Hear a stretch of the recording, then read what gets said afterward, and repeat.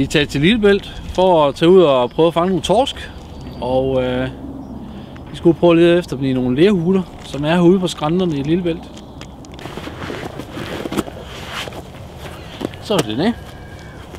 I dag er jo en dejlig dag med 5 meter i sekundet og stille vejr, men øh, temperaturen er jo desværre lidt lav endnu.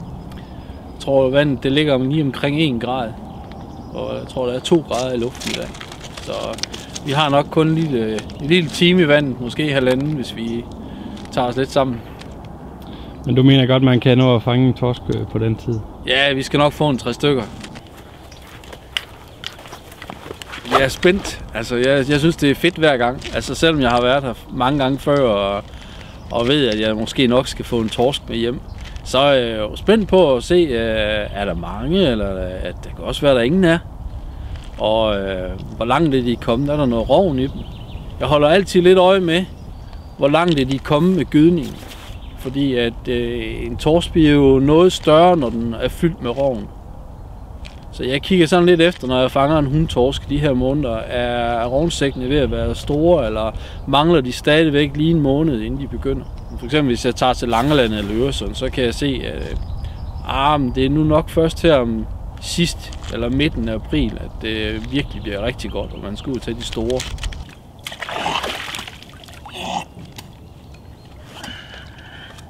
Det bliver rigtig godt.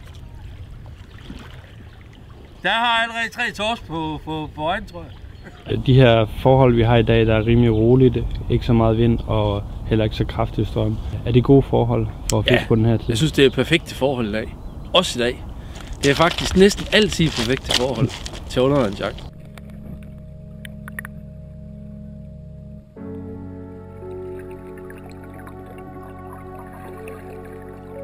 Torsken er egentlig øh, ikke så, så sky igen.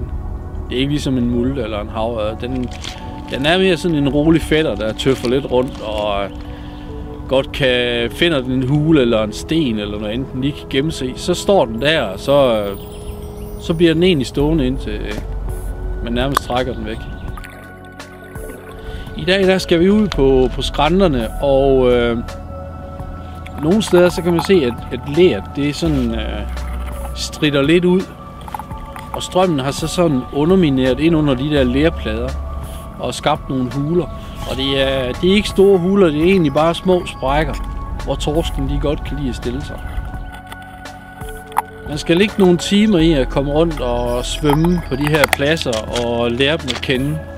Og finde ud af, hvor holder fisken til. Og det, det forandrer sig også i løbet af årstiden. Jeg øh, kan bedst lide og sådan egentlig at, at arbejde mod, op mod strømmen. Og det er fordi, at øh, når man fisker i området med ler eller det hele taget, så kan man godt rive nogle sedimenter op, altså noget bund materiale, og det ødelægger sigtbarheden. Når jeg kører mod strømmen, så når jeg river noget op og arbejder med nogle fisk og skal have dem ud i hulerne, så tager strømmen egentlig og fjerner al den her dårlige sigt, jeg laver dernede. Altså så, øh, så hjælper den til at vandet det er klart foran, og der hvor jeg ikke har fisket endnu. I de her kolde måneder om vinteren, januar, februar, marts og helt i slutningen af april, der trækker torskene sådan lidt sammen i buler, som man kalder det, hvor de, de skal i gang med den her leg, hvor de skal formere sig. Og øh, der er de ikke så spredt ude på bunden på stenrev og muslingebanker. Derfor oplever mange, at de ikke finder torskene her i de måneder her på de sædvanlige pladser.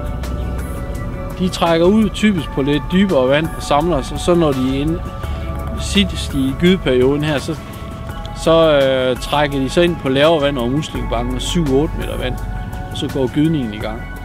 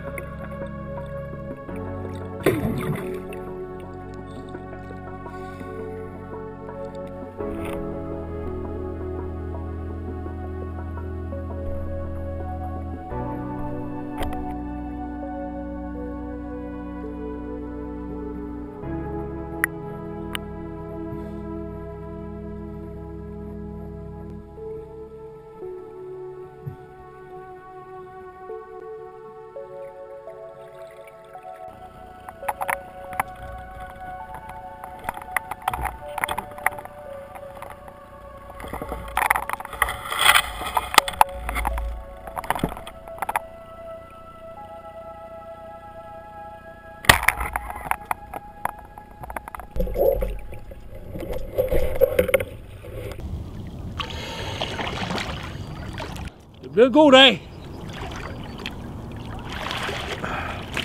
Dejligt vand. Fik også lidt fangst.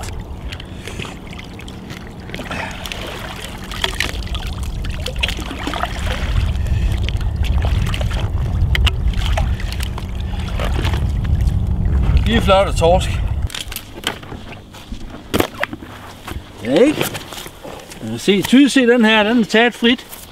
Den stod i noget tang. Så den er mere rød. Og det her, det er huletorsk. De har stået lidt dybere og lidt mørkere. Så de tager en anden farve. Huletorsken, de kan godt få, øh, få lidt sår. Fordi de står inde i, øh, hvor der ikke er ret meget plads. Og se de her to her, som I ser også var grå, de har begge to rygsår. Det øh, gør dem ikke dårligere. Det her det er helt klart en hund. Man kan se, at den begynder at få noget, få noget mave. Der er noget rovn i den her. Den kan blive meget større. Den her torsk skal nok tage halvanden kilo på i vægt den næste måned.